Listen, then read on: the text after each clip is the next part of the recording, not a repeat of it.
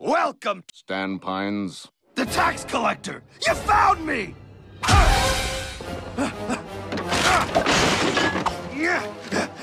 Which one of these is the trap door?